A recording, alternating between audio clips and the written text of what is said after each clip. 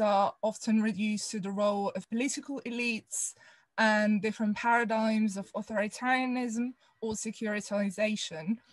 And in this sense, this neglects not only everyday forms of resistance, but also the efforts of advanced capitalist states to contain the uprisings, as well as the different counter-revolutionary forces operating in the region.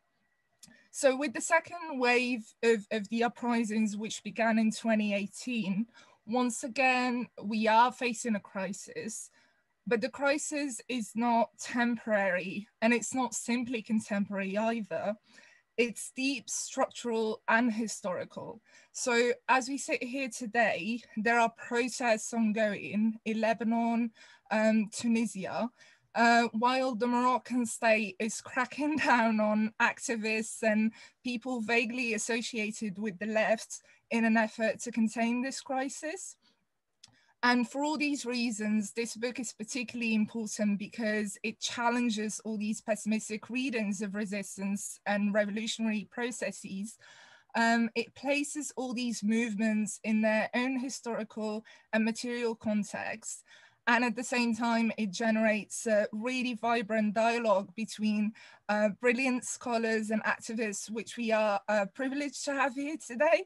Sorry, I get anxious and I lose my voice. Uh, but yeah, which we are really privileged to have here today. Um, so without further ado, I am going to introduce them.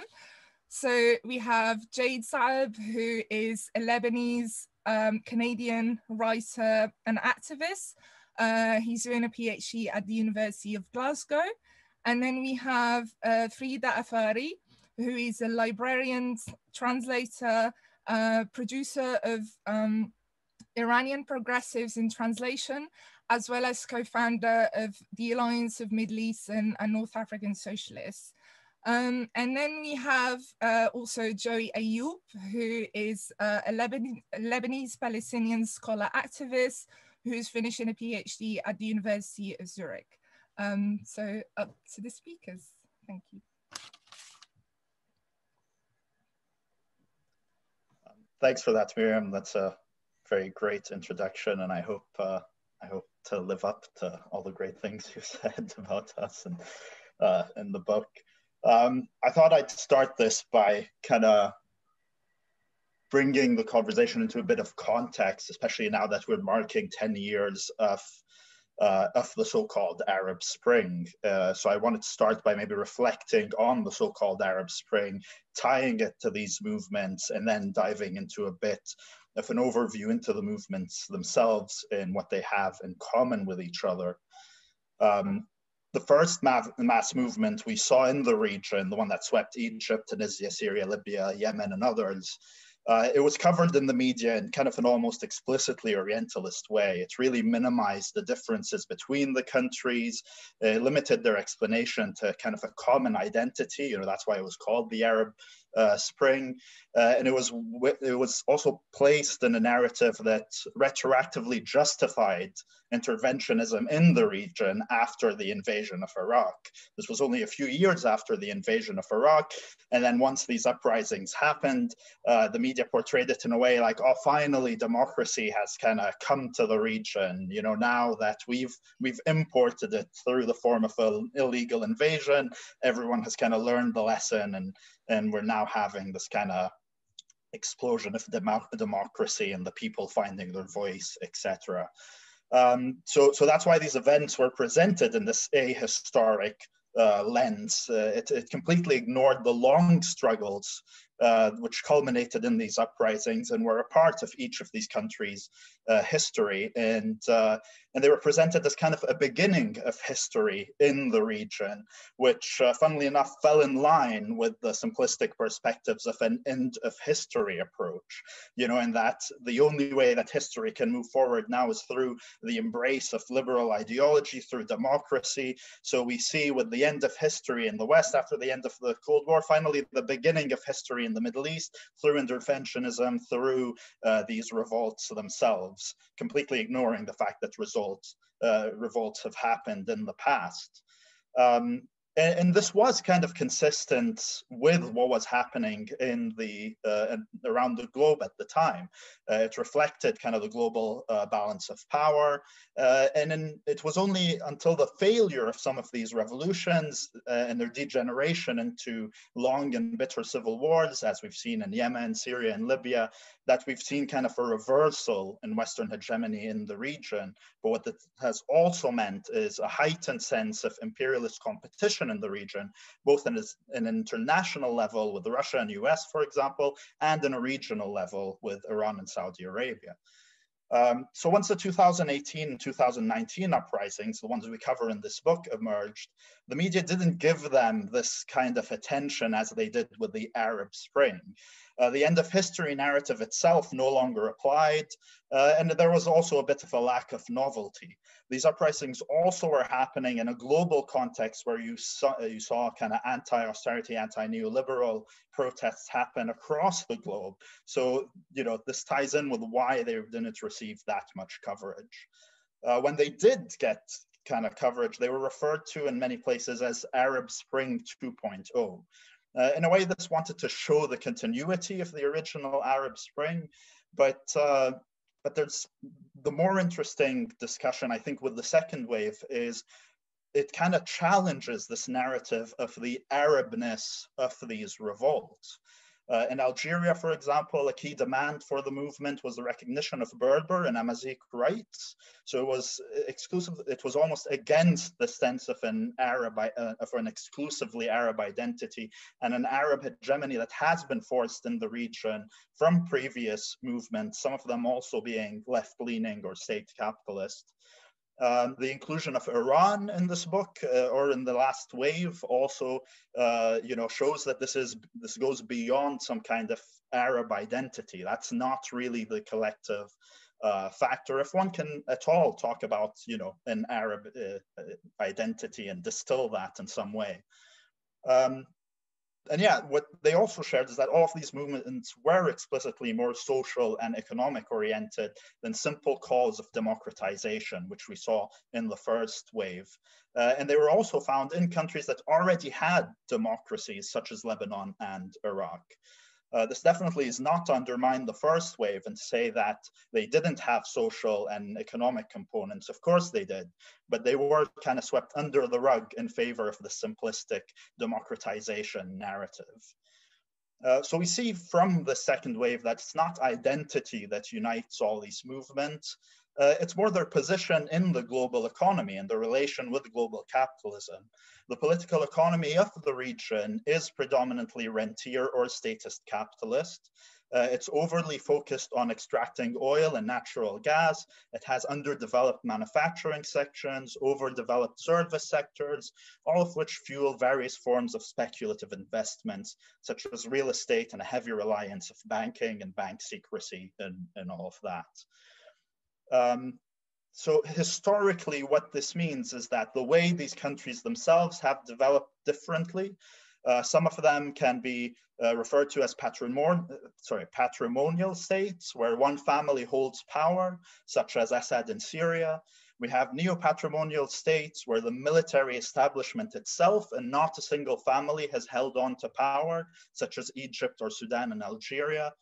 Uh, and then you have these democracies that present some kind of power sharing mechanism justified as the only way to maintain fragile internal balances, but it is really also a way to maintain kind of an oligarchical presence of a ruling class. Um, so we need to see these, all of these regimes, no matter how differently they function, uh, through their role in the world economy as subordinate nations, providing cheap labor, resources, and a market for industrialized nations. Uh, this has impacted, of course, the national economies themselves, but it's also distorted the region's development as a whole. And with these power structures, everyday workers have been shut out of the spoils that have been really gained through this extractivist nature. And this has produced migration of skilled labor out of the region, massive rates of unemployment and underemployment, especially among young people. So all of this has created a kind of pre-revolutionary situation. Uh, the absence of, uh, oops, sorry, I lost my trail of thought. Uh, the absence of the, the uh, political agency, the ability to kind of raise your voice through normal processes, and the growing impoverishment of the masses in a climate of corruption and increasing social inequalities, as well, you know, worth noting here is the oppression of minorities and this, the discrimination against oppressed minorities, all prepared the ground for popular insurrections, which we see now as a long-winded kind of revolutionary process. Maybe we can break it down into phase, but it's phases, but it's important to see it as a continuous process. Um, importantly, even though I've highlighted all of the similarities in the region, it is, you know, it's important to not lose the region in kind of one blob. Uh, there is important interactions between these countries, be it Iran's expansionism in the region, the importance of Gulf capital and floating the economies of non-petroleum producing nations, the question of Kurdish self-determination, the movement of refugees in the move uh, in the region, migrant labor, and others. Uh, each of these really require a talk on their own. And unfortunately, even in the book, we weren't able to go into them in details. The only time we did discuss, discuss them is as they related to the movements themselves. Um, so yeah, so, so the revolutions we see in the region, they need to be understood as attempts to solve these contradictions presented by all of these issues and transcend any simple identity. Uh, they also point to this being a long revolutionary process, as I've mentioned, that will extend beyond the two waves we've witnessed so far. Um, so to talk a bit about the movements themselves and what they share in common, uh, yeah, it, it, it's important to note that all of these uprisings share an understanding that a fundamental restructuring of society is what is needed. None of them are just looking to change the faces at the top. Um, and this includes redistributive demands as well as calls for radical changes in social relations. Uh, these struggles have resulted in revolutionary situations in all the countries, although it remains unclear if they will lead to revolutionary outcomes. This really depends on whether or not the movements themselves can work through some of their own contradictions. Um, another similar characteristic of all these movements is they all share in negative demands. They have the rejection of the various ruling classes or military uh, dictatorships that run the region's uh, states, and they have yet to formulate a definite positive political program on which uh, to, to kind of run on and to push and to, to seize power at the end of the day. Uh, but this tactic is not entirely voluntary. We need to understand that, that most of these countries share in the fact that uh, traditional forces of resistance have previously been crushed. That's the way these ruling classes have been able to maintain their, uh, their power. So these mass movements are missing the strong labor movements or oppositional political parties that usually carry such movements and unify these demands. So the structures of resistance that we see coming to the forefront now uh, represent either shells of previous structures or new and therefore underdeveloped structures.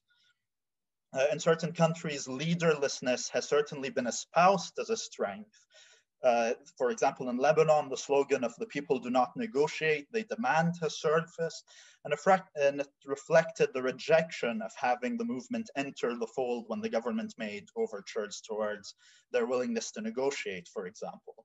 Now, this does have defensive uses. It, uh, for one, it protected many from the oppressive reach of the government, and it safeguards from co-optation. Uh, but this leaderlessness is not enough. And what's emerging in the form of organization is really worth noting. Uh, a case in point here would be Sudan, which is the only country in which a coalition has emerged and has been able to come to a power sharing agreement with the military. Uh, the coalition itself is changing, but it represents a wide array of the population, from trade unionists to the Communist Party at one point, uh, this coalition, which is called the Free Forces of Freedom and Change, was set up by the Sudanese Professional Association, uh, which is a trade union essentially. Uh, this has led many commentators in the region to take up workplace organizing as the only tool that can promise salvation.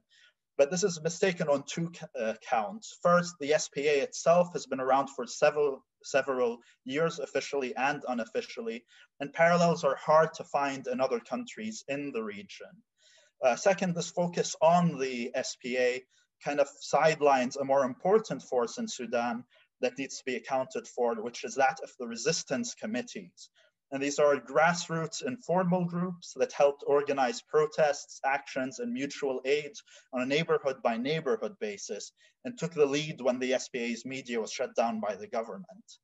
Uh, and now that the uh, forces of freedom of change are actually in government, it's these resistance committees that continue to make sure that this revolution has a sense of permanence, of continuity, and that the revolution does not succumb to counter-revolution. And these sorts of grassroots committees have emerged everywhere in this uprising. Uh, mainly, we've seen it in Iraq and Lebanon, although they were unable to coordinate and remain fragmented and politically diverse. So really, when we look at the region, we should be looking at these groups and how it is they form and whether or not they're able to create this political, uh, let's say, uh, political vision, this positive political pro program to, to push the mass movement forward. It's only then that we can really see these movements re-emerging with the same intensity they had before COVID. Um, that's all I'm going to say about the movements for now, and I'll leave it to the other speakers to discuss uh, some of the other countries in more detail. Thank you for organizing this event and for giving us this opportunity. And thanks again to Jade, who edited the book and who worked, helped us through every step of it with his wonderful questions and comments and ideas. So thank you, Jade. I am not going to really summarize the chapter I wrote for the book um, because I'm sure you've all read it. So I'm just going to single out some points and also talk about newer developments since the, the, the chapter was published.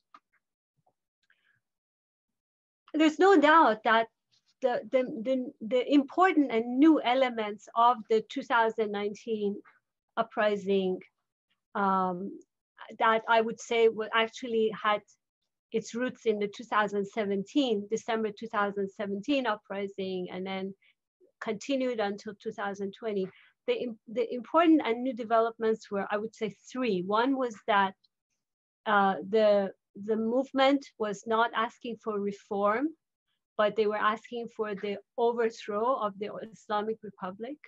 And so that was very different from the 2009 Green Movement that just wanted reforms uh, in the laws. And um, and real, uh, new elections. Um, they um, uh, involved, they opposed Iran's imperialist intervention in Syria, Iraq, uh, Lebanon, Yemen. Um, so that was very important, unlike the earlier uh, struggles in Iran. And, and, and Syria was definitely, you know, an important part of the uh, of this uh, struggle of uh, solidarity with Syria and opposition to Iran's intervention in Syria. And third, women, oppressed national minorities, and workers were strongly involved in, in these uprisings. And I, in, to some extent, I would even say that women were in the forefront. So uh, the, the problem was that, uh, unfortunately, with uh, COVID, uh, 19 breaking out. And one of the first places we saw COVID spreading was actually Iran because of Iran's connection to China and Iran's uh, covering it over um, uh, because they wanted to have the, the, the parliamentary elections. Um, but with the spread of COVID, it was very difficult for these um, efforts to continue. And Iran has suffered tremendously from COVID. The official figures are that over 53,000 people have died, but we know that many, many more have died. And some people even estimate that half the country is already infected, if not sick. But um, the government has been very, uh, at, at, first it was very lax about it, and then the regulations were very, very arbitrary and not really enforced. And so as a result, people are dying and suffering. But in general, even, even aside from COVID, the situation in Iran has been dire for a long time and COVID just added to that. So we have the majority of the labor force that's unemployed The government claims that the unemployment rate is 25%, but that's because they count even one hour of employment per week as employment. Mm. And, but it's really more like at least 50, 60% of the labor force is unemployed. They're hungry, they're literally hungry. Food prices are so high that even the most basic food items like bread and cheese um, are just not available. Eggs, meat, are, even out of the question. And uh, uh, air pollution is just unbearable because now Iran is using the unfiltered uh, petroleum uh, for fuel and energy, and the, that the pollution that it generates is just unbearable. So friends in Iran that I talk to just say we can't even get out of the apartment and, and lung problems are just increasing and that is leading to more people getting COVID. So, but despite all of these, uh, the, pro, the, the struggles are continuing in various forms. So we've had a variety of labor struggles. We've had uh, uh, protests of nurses. We've had the continuing uh, strikes and protests of sugarcane workers in the southern province of Khuzestan, uh, the Haftape sugarcane workers. Uh, the bus workers were just, just recently had a protest a few days ago. The petroleum workers and workers in the petroleum industry, various locations, farmers and retirees, and of course teachers as well. So these, these um, labor actions are continuing, continuing, just asking for, for basic, basic demands, but also, um, and I will talk a, a, a, bit more about this in the case of Haftape, um, really demanding control of production and, and control of the, of the company. Um, the arrests and executions are, are increasing. And um, so a, a, year after the November 2019 and January 2020 uprisings, several working class youth involved those, in those uprisings have been executed on charges of sedition. And then within the last two weeks alone, over 60 Kurdish civil rights and environmental activists in Kurdistan have been arrested. Kurdish activists have been executed, or there are others who are, are, are uh, waiting in line I'm sorry to use that expression, but that's what the government says, um, to be executed. And, uh, uh, and then the whereabouts of a lot of the people who've been arrested is unknown. Uh, women, labor activists, and feminist Parveen Mohammadi has gone into hiding to avoid having to serve a one-year sentence on charges of sedition, simply for doing labor organizing. That's called sedition. And then we have the Iranian feminist human rights activist, and of course, Parveen Mohammadi herself is a feminist. Uh, we have uh, uh, feminist human rights activists like um, uh, uh, Nasrin Sotoudeh, who had a brief furlough because of contracting COVID. She's now back in prison, along with many other women's rights activists who have been in prison for challenging the compulsory hijab or for simply having classes for women or advocating women's rights. And then there are also labor, other labor, student, and environmental activists, uh, people representing other national minorities, such as the Arab minority, the Baluch minority. Um, they're all, you know, they all have activists in prison.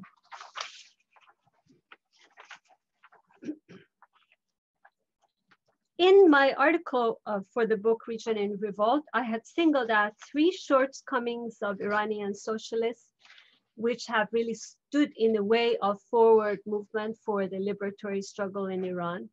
And those were one, statism, two, Iranian nationalism, and three, sexism.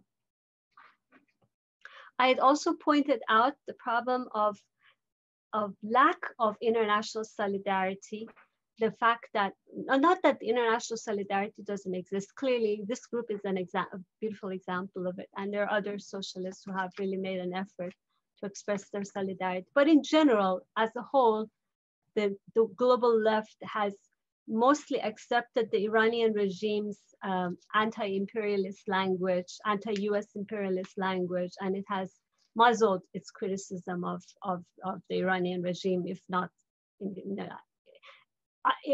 if it even has one. Um, but there are some new developments that I think can help us challenge these problems. And I'd like to point them out. Um, new developments uh, within Iran and also developments concerning international solidarity. And I'd like to point out four of them, and then I'll stop. How much time do I have left?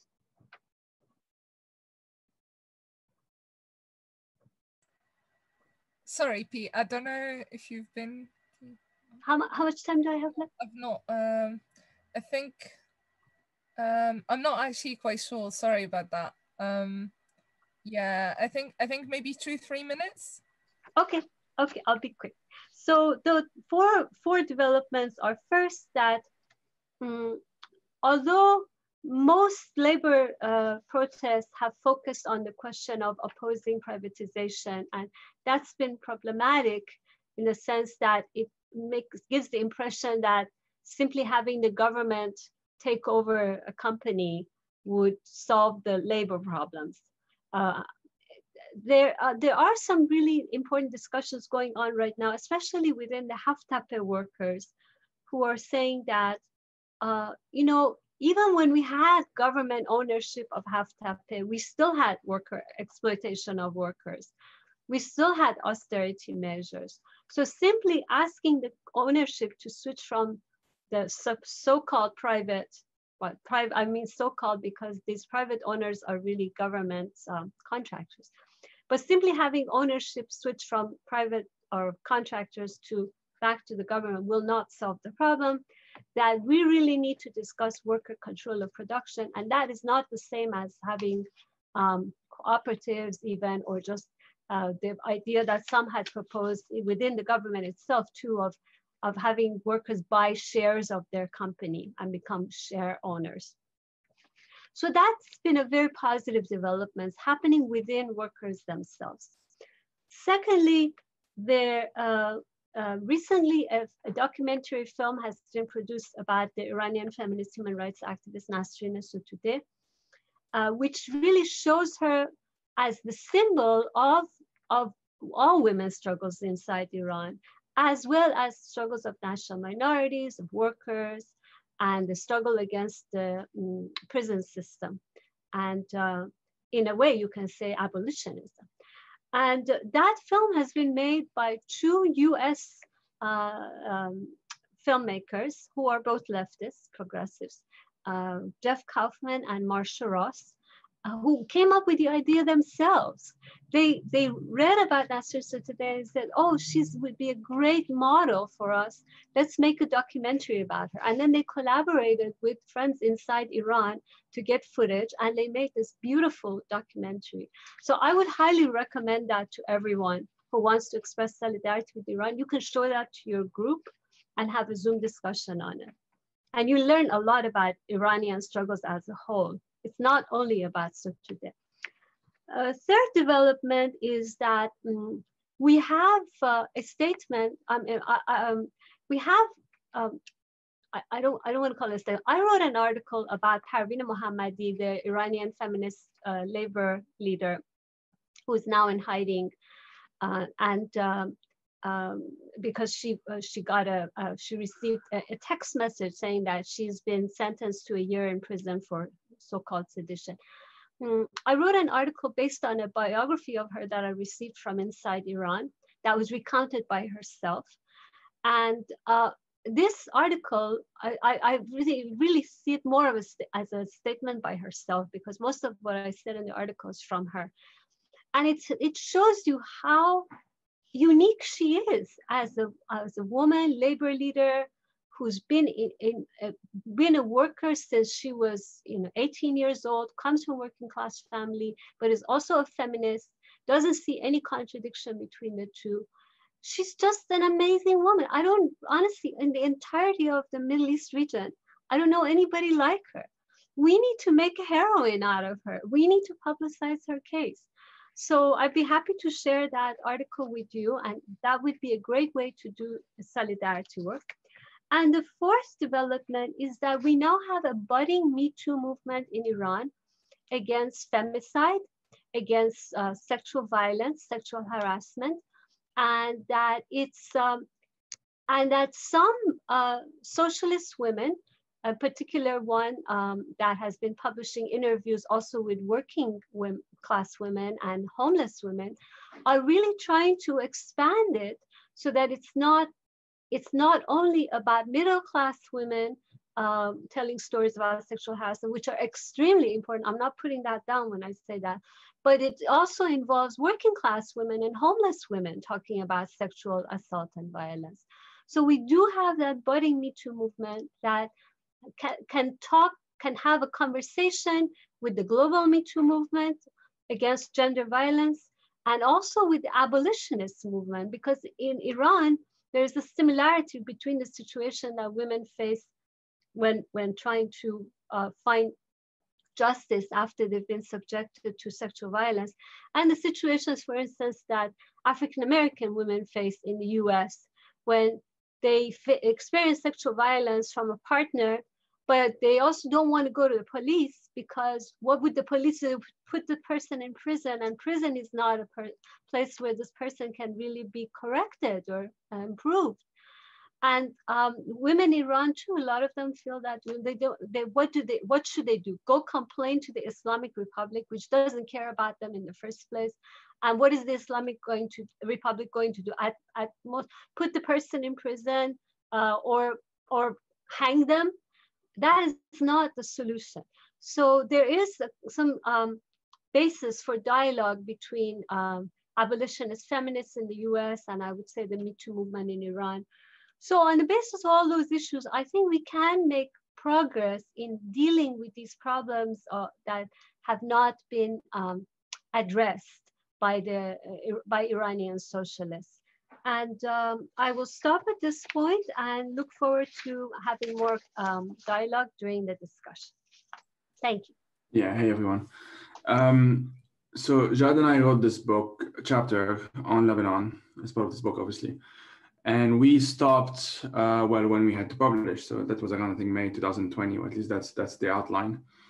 And obviously three months later we had the, the, the massive explosion in the port of Beirut. And one thing that I was wondering when that happened, or you know, after trying to recover from the shock of it all, obviously, is like what how would we have updated the chapter uh, had we let's say published it uh, a month later or whatever. And the truth of the matter is that all we would say is that things are even worse than they were before August. It just kind of it's a this acceleration uh, process the trouble was speaking about um, you know first wave second wave uh, who gets to decide what what when did arab spring 1.0 stop in the first place and when the 2.0 start you know? These are pretty uh, they can be useful categories if we want to simplify things but for the various reasons that Jad mentioned uh, before I, I personally also don't really use it. I just say the 2011 uprisings and then the 2019 uprisings and so on just to make it simpler. Right now we're seeing a number of um, interrelated crises happening in Lebanon. You have the economic crisis, which is both linked to the COVID-19 pandemic, obviously, but it also precedes it. It was actually one of the triggers, if not the main trigger for the October um, 2019 uprising slash revolution slash however people want to call it. Um, and they haven't gone away. If anything, they've gotten significantly worse. I actually don't know what's the latest updates on how much the currency has been devaluated. I think something like 80%. Jad, correct me if I'm wrong, but it's really significant number.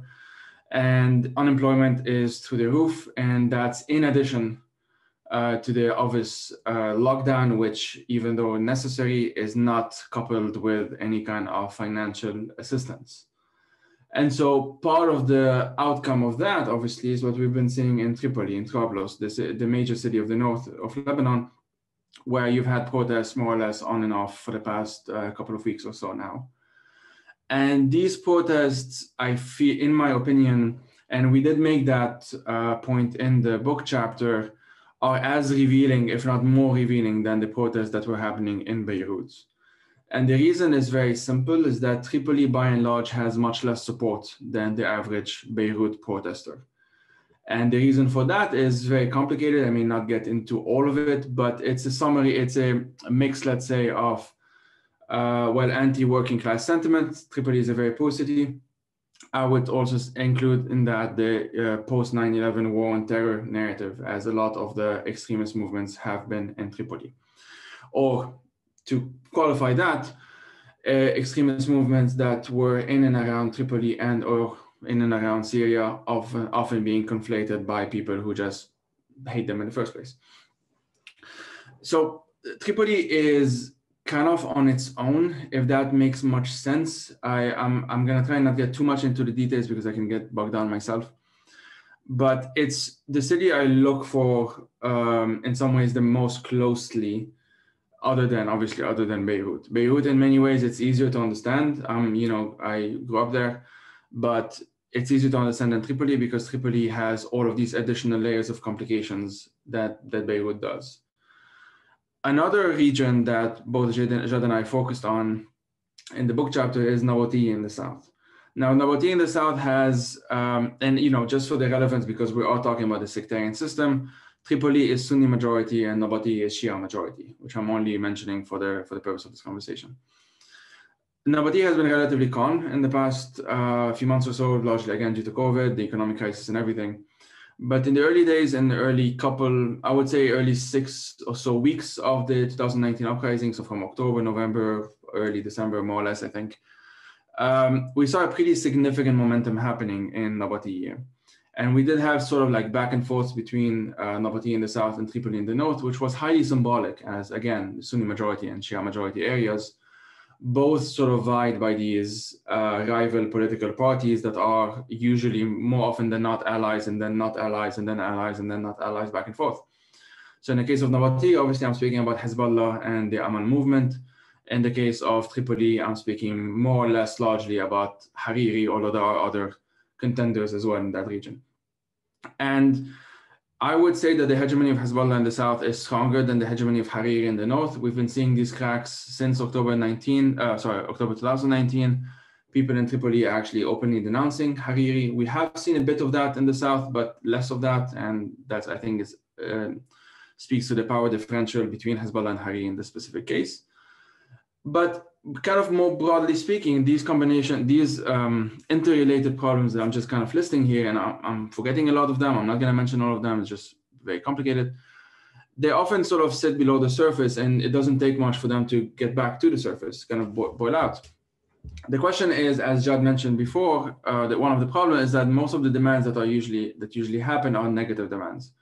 Now, I wouldn't be too harsh on the people who have negative demands. It's a very difficult situation, and it is uh, you know, for better or worse, it is very obvious that there has to be structural changes and also that very specific people have to leave. It's very difficult to have these structural changes without these specific people leaving. And they happen to all be in government, obviously. Or there are a few of them that are not technically in government, but they are in government. It's, it's complicated. And the difficulty with that is that you don't have one. You don't have one dictator to overthrow, which is difficult as it is, don't get me wrong but it's more diffused. And because it's more diffused, you have a, a, a more complicated in some ways, or at least more uh, difficult to understand. I, th- I think for the average protester, average activist, I, you know, just speaking for myself, um, a diff- more difficult political economy to understand. It's not just about hitting, you know, the kind of cutting off the head of the Hydra kind of thing. You, you, do have middlemen, you have people that depend on on political parties, you have people who, let's say, don't necessarily um, 100 believe in everything Hezbollah does, but are economically dependent on Hezbollah in those specific uh, regions. And that's just one example. It, it's across the board. So my question, my what I've been wondering, uh, sort of kind of to zoom out in a sense, is what happens to the so-called post-war consensus, and I'll sort of sum up my my thought in this. Lebanon, very sim- like simplifying here, has had more or less waves of history, if you want, that are more or less 15 years of time period, more or less. You have obviously independence in 1943, and then in 1948, a lot of things happen in those between those dates. But I'm again summarizing. You had the, um, the, the 1958 conflict, I think it's just called in English, And that was in the context of pan-Arabism, and then uh, on the kind of the op opposing side, Lebanese nationalism, and certain things in between. It wasn't that clear cut.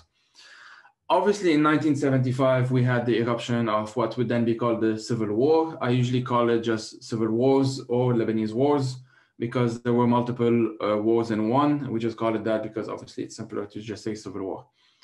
And they were interrelated, not that they were not connected. In 1990, we saw the ushering in of the Ta'if Agreement, signed in, in 1989, I think, and implemented in 1990 or early 1991 or something like that. And since then, under, uh, I should say, under Syrian quote unquote tutelage, so the, the military occupation of the Assad regime, and in the south of Lebanon, you had the military occupation of the Israeli regime, obviously. But in the rest of Lebanon, what would be called the Lebanese government, it was the Assad regime. And so between 1990 and 2005, you had the so-called reconstruction of Lebanon.